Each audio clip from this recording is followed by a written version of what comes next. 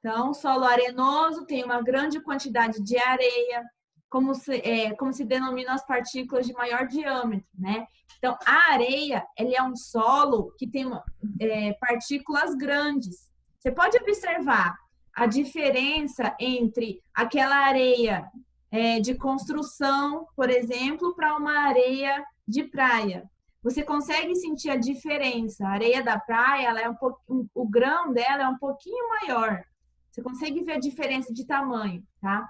Os que apresentam uma alta concentração de argila, que são partículas bem pequenininhas, é, são considerados solos argilosos. Então, os solos arenosos têm grande quantidade de areia. Os solos argilosos têm grande quantidade de argila. É, outra coisa diferente entre esses dois é que no solo arenoso, os grãos são maiores. No solo argiloso, os grãos são menores. Tá? Nenhum dos dois tipos é considerado ideal para o desenvolvimento de vegetações densas e cultivos agrícolas. Tá? é, sendo os níveis de fertilidade melhores em classes intermediárias para outras combinações de textura. Então, não adianta ter um solo arenoso e você querer plantar coisas ali. Tá? Pode ser que a planta não fixe bem, porque o solo ele é mais maleável.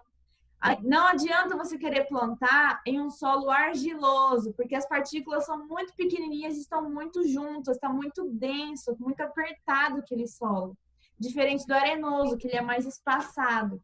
Então, você tem que achar um solo intermediário entre os dois, onde os grãos não sejam tão grandes ou os grãos não sejam tão minúsculos. Então, você tem que achar um solo intermediário, tá? O solo arenoso, ele tem essa cor mais clara, tá? E o solo argiloso, ele tem uma cor mais avermelhada, mais escura, ok? A gente chama de terra vermelha, né? é aquela terra que suja mais as, das nossas casas, digamos assim. É... Aí aqui está falando, pode o solo ser roxo? O solo pode ser roxo? Então, assim, os solos que apresentam características da rocha da qual se é, o solo, os solos em geral, né, todos eles, eles apresentam características da rocha da qual se originaram. Todo solo se originou de uma rocha. Então, ele vai ter cor, vai ter característica de acordo com aquela rocha que originou esse solo, tá? Se a rocha era rosa, o solo vai ser rosa. Se a rocha era verde, o solo vai ter essa coloração esverdeada, tá? É o que ocorre com um tipo de solo comum nas regiões sul e sudeste, de cor avermelhado escuro, tá? É como tá aqui nessa imagem. É, essa coloração vem da presença de minério de ferro é, no basalto, que é a rocha originária desse solo aqui, dessa imagem. Então, antes de virar esse solo, esse solo pertencia a uma rocha. Essa rocha, ela era de basalto, tá? Ela tinha uma coloração assim, por isso que o solo é dessa cor.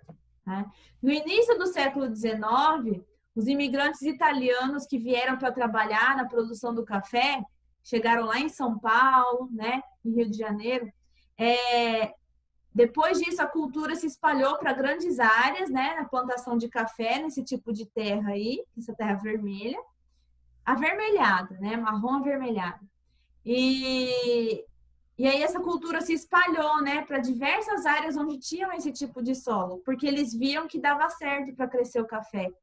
Né? Então, eles procuravam mais regiões onde tinham esse solo, para ter mais produção do café.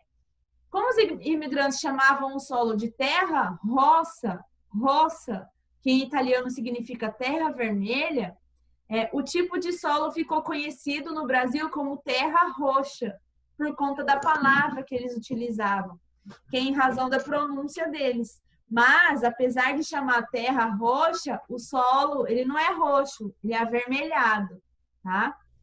Então, esse solo pre presente aqui no Brasil é um dos mais produtivos do mundo todo, tá?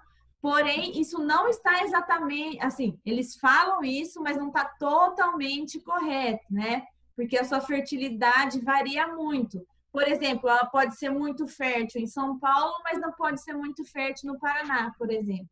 Apesar de ser o mesmo tipo de solo, tá? É...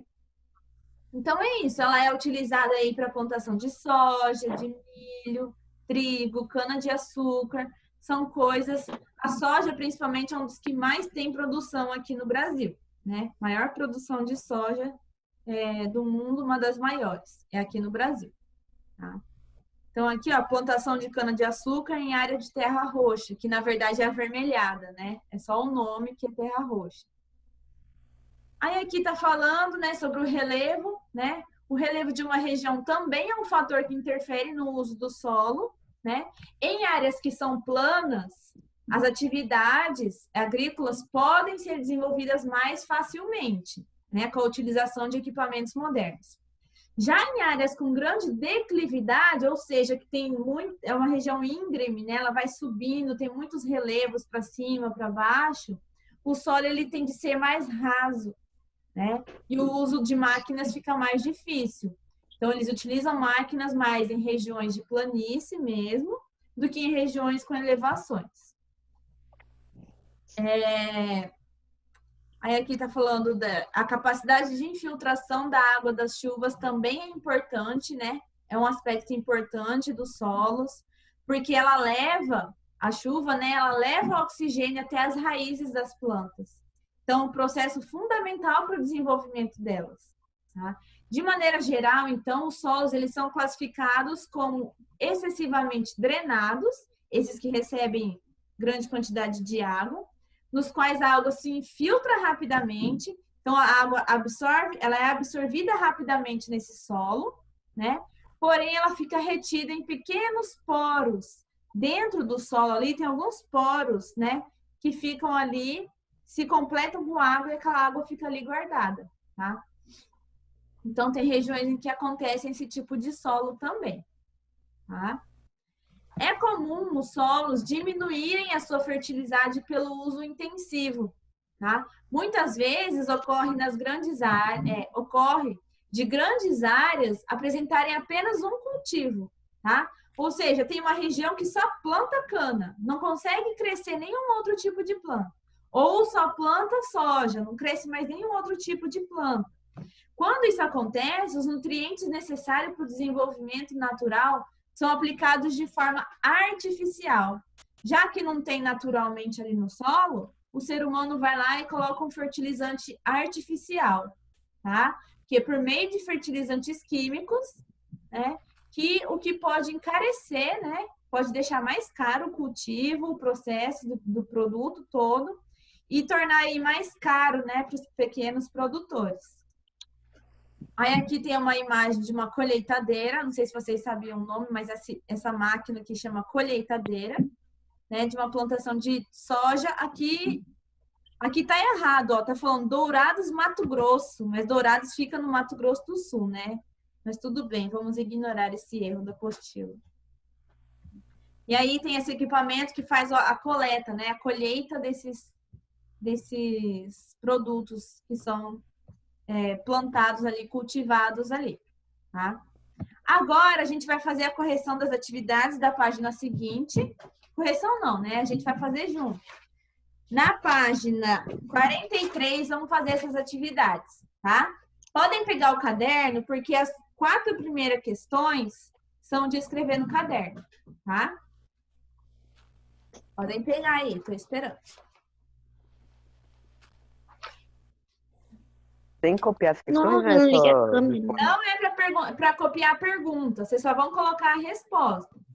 Tá? Coloca é, assim, é, página 43, questão 1. Aí eu vou falar para vocês o que é para escrever.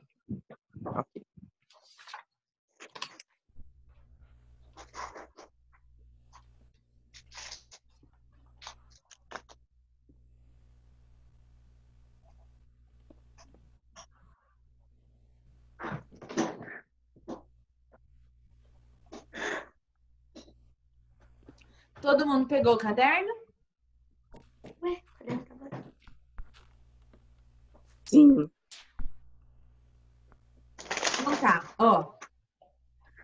Questão número um. Sobre a conservação dos solos, explique a consequência do uso intensivo de produtos químicos. Então, é para escrever o que, que pode acontecer com o solo, né? Se você usar muitos produtos químicos ali. Então, vocês vão colocar o seguinte: pode encarecer. Peraí, professor. É o caderno de. Ah, geografia, né? Isso. Ué. Professora, calma, eu acho que tá lá na, na cozinha meu caderno, não sei porquê.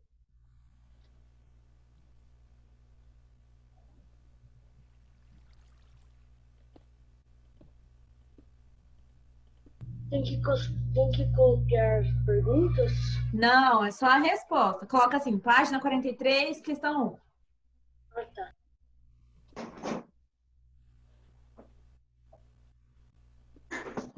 Achei. Pode encarecer o processo. Pode fazer com caneta tudo, professora? Pode. Pode encarecer o processo, mas não é melhor fazer de lápis? Você vai, você pode errar. Não, é verdade. O processo produtivo pode encarecer o processo produtivo e torná-lo. Vou escrever aqui, ó. Torná-lo pouco acessível. Pouco acessível aos pequenos produtores. Vou repetir.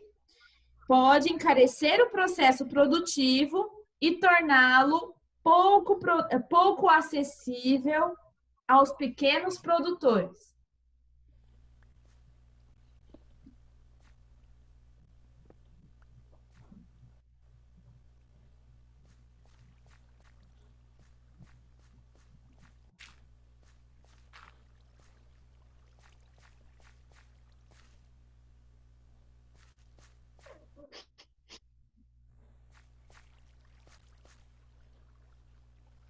Pronto? Sim. Número 2. qual a diferença entre a formação dos solos autóctones e, autóctones e dos solos alóctones? Vocês vão escrever. Os solos autóctones, podem ver como que escreve, tá ali na questão. Os solos autóctones se formam nos locais os solos autóctones se formam nos locais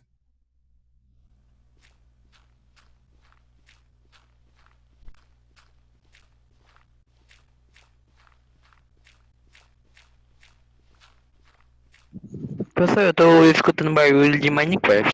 Eu tô ouvindo alguém jogando Minecraft aí no fundo, tá bem suspeito. Acho que é o Leonardo.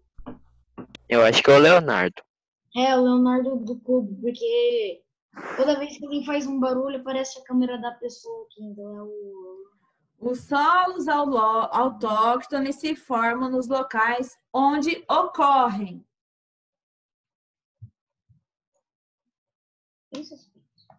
se formam nos locais onde ocorrem. Ponto. Os solos alóctones.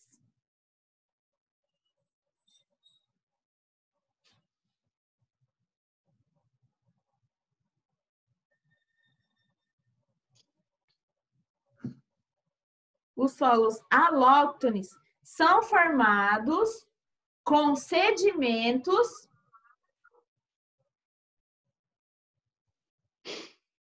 são formados com sedimentos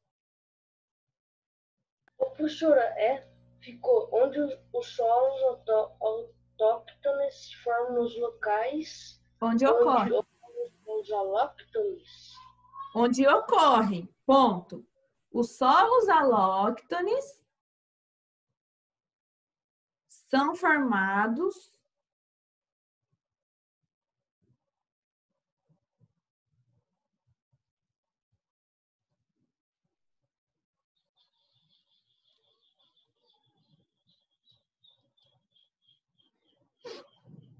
com sedimentos provenientes com sedimentos provenientes de outros locais.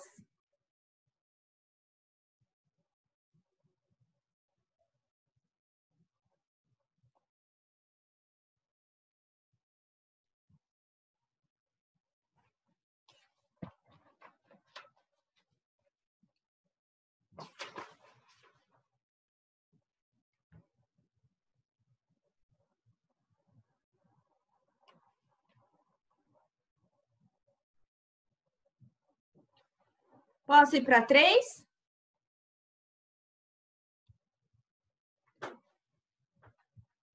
Então, tá bom. Questão número 3 está falando. Escreva quais são os principais horizontes presentes no perfil dos solos e as suas características básicas. Lembra aqueles horizontes que eu falei para vocês? Horizonte O, A, B, C e a, a rocha matriz? Então tá. Na resposta, então, da questão 3, vocês vão colocar horizonte O, dois pontos. Henrique, você não está escrevendo nada, né? Aham. Uhum. É, então, pega sua apostila, seu caderno. Na questão 3, então, horizonte O, dois pontos. É, rico em matéria orgânica.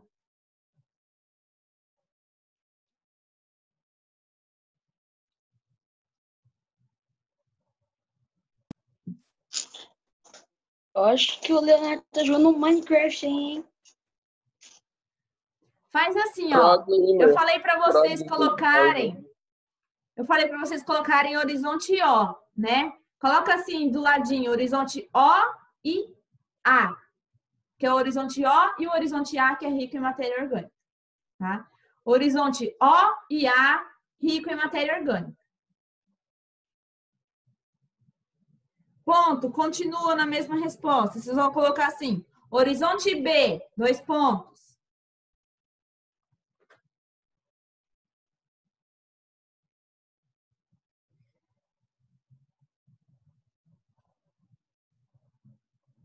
Grande quantidade de sais minerais.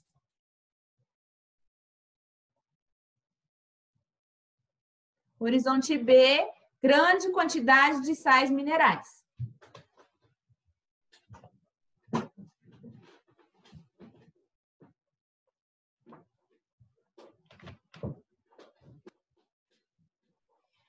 Ponto. Horizonte C. Dois pontos. Calma aí, professor. Tá. O horizonte B é grande quantidade de sais minerais. E o horizonte C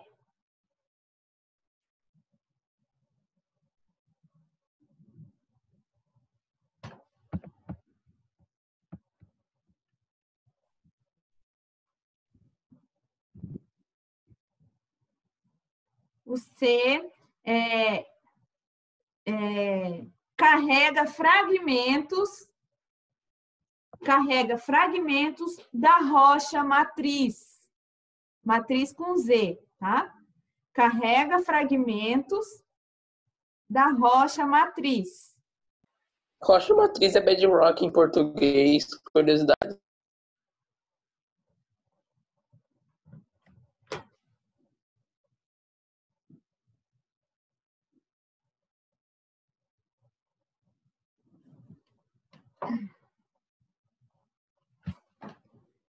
Questão número 4 agora.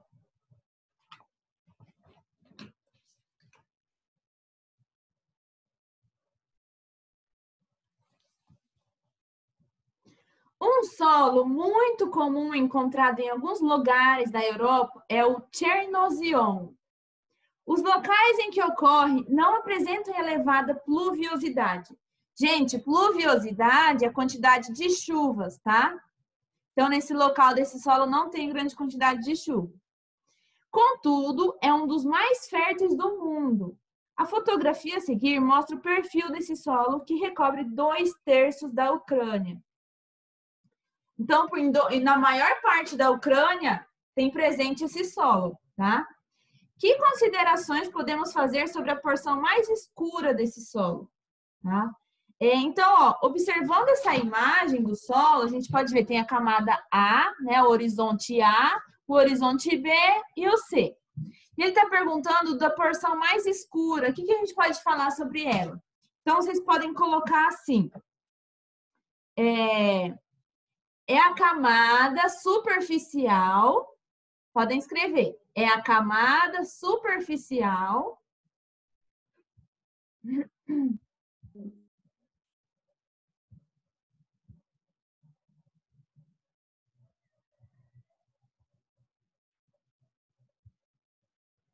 rica em matéria orgânica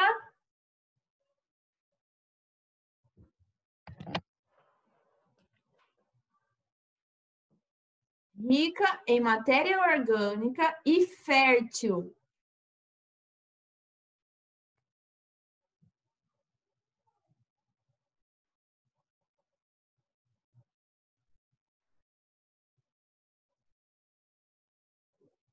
Só isso já tá bom, tá? Rica em matéria orgânica e fértil. Ponto. Cinco. Observe na página 4 do material de apoio. Vamos lá no material de apoio, ver qual que é esse material. Página 4. Ah, cadê? Ah, é um mapa. Né? Potencial agrícola dos solos. É, o mapa de potencialidade agrícola dos solos brasileiros e encontra a localização aproximada do município onde você mora. Então, gente, pode tirar essa página, tá? Do material de apoio, que é esse mapa colorido. Pegaram aí? Achem aí na apostila de vocês e pode retirar, tá? Quatro? Ó, tá escrito capítulo 5, página 43. É Ah, a achei. página 4 do material de apoio.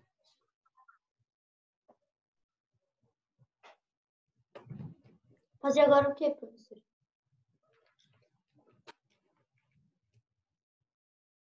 Acharam?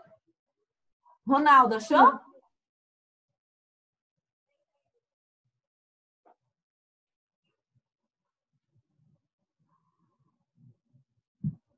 Então tá bom.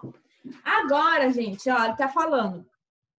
É, encontre a localização aproximada do município onde você mora. Todo mundo achou Campo Grande ali? Achem Campo Grande no Sim. mapa. Ah, já achei, achei. Então tá, agora vamos responder as perguntas. Letra A. Verifique a legenda do mapa e escreva como são a fertilidade, o relevo e as principais limitações do solo do município onde você vive. Então vamos lá. Qual que é a fertilidade do solo em Campo Grande? Que cor que tá ali, a maior parte? Baixa. baixa, né?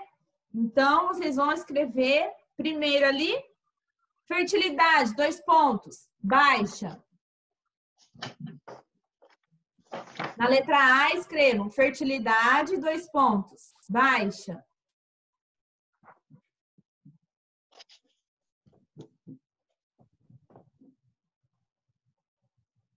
Aí põe um ponto e escrevam relevo, dois pontos.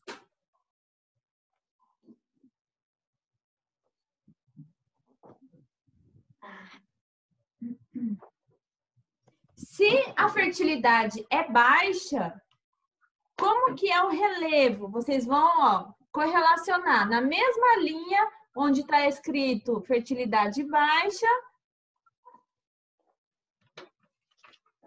Professora, pode cortar? Pode.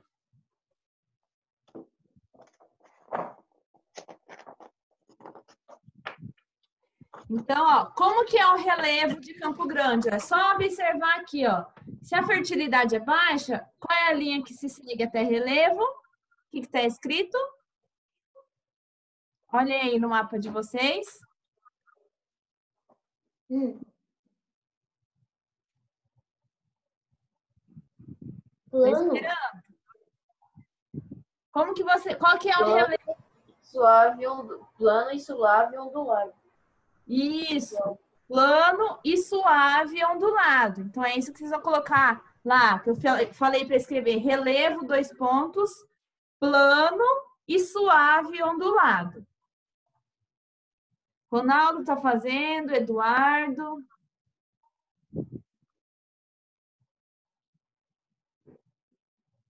Aí vocês vão pôr ponto e escrever é, principais limitações, dois pontos.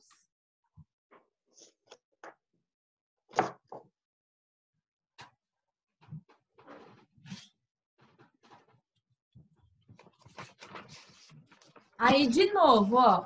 Se a fertilidade é baixa, o plano é suave, é, o relevo é plano e suave ondulado, qual que é a principal limitação do, do solo aqui? É só ler ali na linha que se segue. Bota uma régua, alguma coisa ali, ó, igual eu fiz aqui. Qual que é a principal limitação? É só seguir ali. Não, ó. A fertilidade é baixa, né? Que a gente viu. Seguindo a linha de onde está escrito baixa, é que tá difícil segurar aqui agora. Seguindo a linha, qual que é a principal limitação? Baixa disponibilidade de nutrientes, excesso de alumínio. Isso. Então, eu falei para vocês escreverem ali, né? Principais limitações, dois pontos. E aí vocês vão colocar baixa disponibilidade de nutrientes e excesso de alumínio. Pro, vou no banheiro, já volto. Vai, formiga, pra fora. Formiga. Todo mundo respondeu? Eu vou repetir mais uma vez só a resposta dessa questão. Só mais uma vez, tá? Eu falei para vocês colocarem é, fertilidade, dois pontos. Baixa.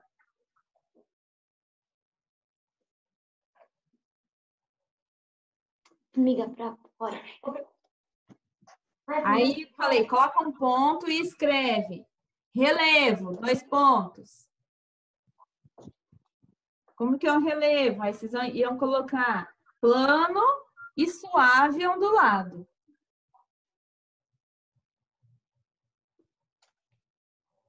Aí eu falei, coloca ponto e escreve principais limitações, dois pontos. Aí vocês vão colocar baixa disponibilidade de nutrientes e excesso de alumínio.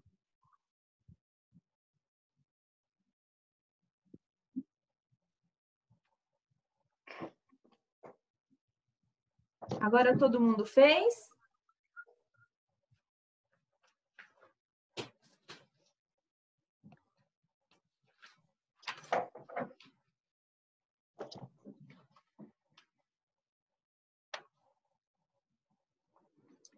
A letra B. Existe, é, há outras áreas no país nas quais ocorre o mesmo tipo de solo que o presente na área onde você vive? Escreve que sim. Aí a gente tem que achar um local que tenha uma- as mesmas características que Campo Grande. Essa mesma cor aqui. Escolha uma cidade do Brasil que tenha a mesma cor aqui, o rosa, o rosa escuro. Imita, é, Cuiabá. Não, Cuiabá tá marrom, tá vendo? Que a bolinha de Cuiabá tá no marrom. Tem que achar um que a bolinha tá no rosa, rosa escuro. Belém, por exemplo, olha o Belém lá em cima, no Pará. Podem colocar Belém, ou vocês podem colocar é, Distrito Federal, Fortaleza. Fortaleza também dá. Fortaleza. Vocês escolham, tá? Pode colocar mais de um também.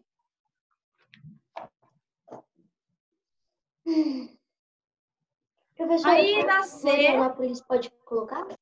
Hã? Florianópolis. Não, Florianópolis é o rosa claro. A gente quer o igual o de Campo Grande, que é um rosa mais escuro, um vermelho. Pode colocar Belém, Fortaleza. Tá?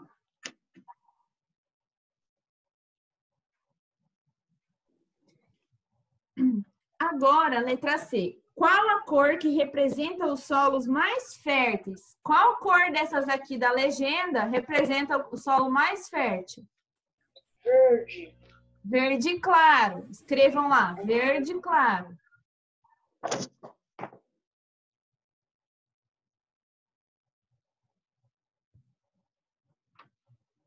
Aí ele quer saber aonde tem, onde estão localizados esse verde claro. Quais estados? E aí vocês vão colocar só a sigla, tá? Rio Grande do Sul, que é RS.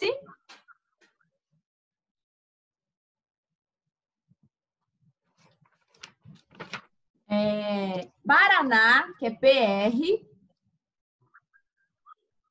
É, Rio Grande do Sul, vírgula, Paraná, PR, né?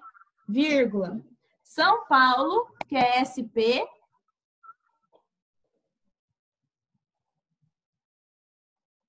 Minas Gerais, que é MG. Vírgula. Bahia, que é o BA.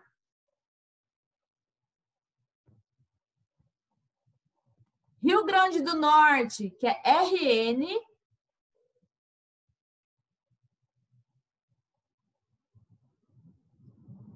Vírgula, Ceará, CE.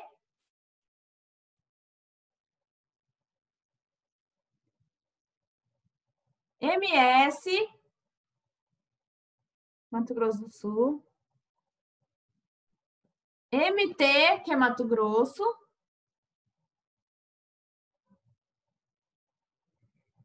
RO, que é Rondônia. E por último, PE, que é Pernambuco.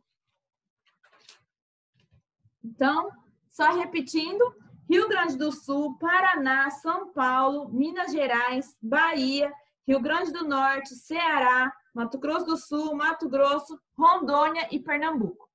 Esses locais é onde tem o solo mais fértil, tá? Do Brasil. Certo? Agora, é, a gente vai lá para a página 45, tá? Página 45 da apostila.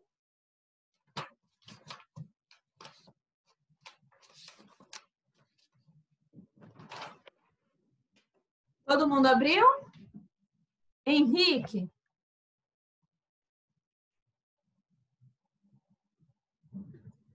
Gente, aqui tá mostrando. Aqui tá mostrando um mapa que, se- que se chama Deslizamentos de 2009 a 2013. Tem essas cores porque esse vermelho, marrom, não sei que cor é essa, representa ó, o município que apresentou escorregamentos ou deslizamentos nas encostas em áreas urbanas. Então, houve lá um desmoronamento de terra nessas regiões que estão com essa cor, tá? Então, ó, número um, onde se concentram as maiores ocorrências de deslizamentos do Brasil?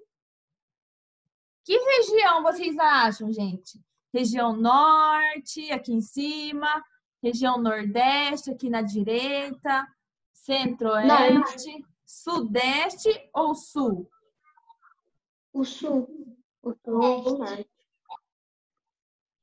Ó, as principais regiões são no norte, sudeste e sul, tá? Podem colocar aí na questão 1. Norte, sudeste e sul.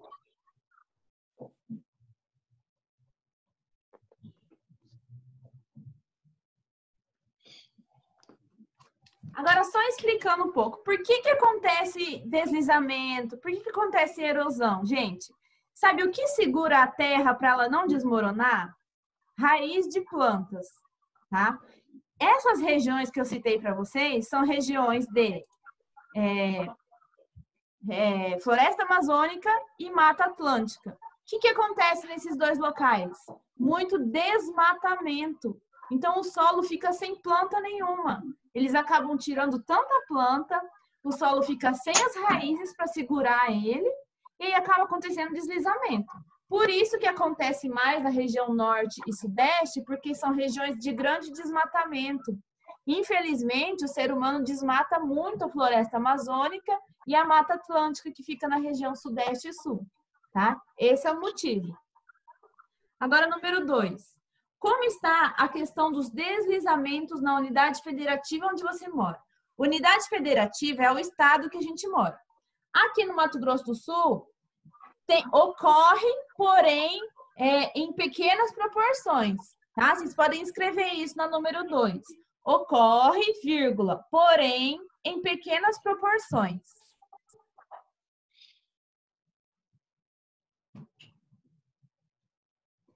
Na 1 ou na 2? 2.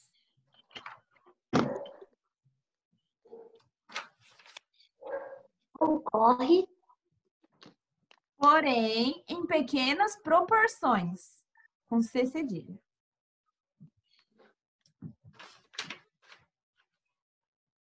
Gente, vai acabar a aula em menos de um minuto. Vou mandar outro link, tá? tá, tá.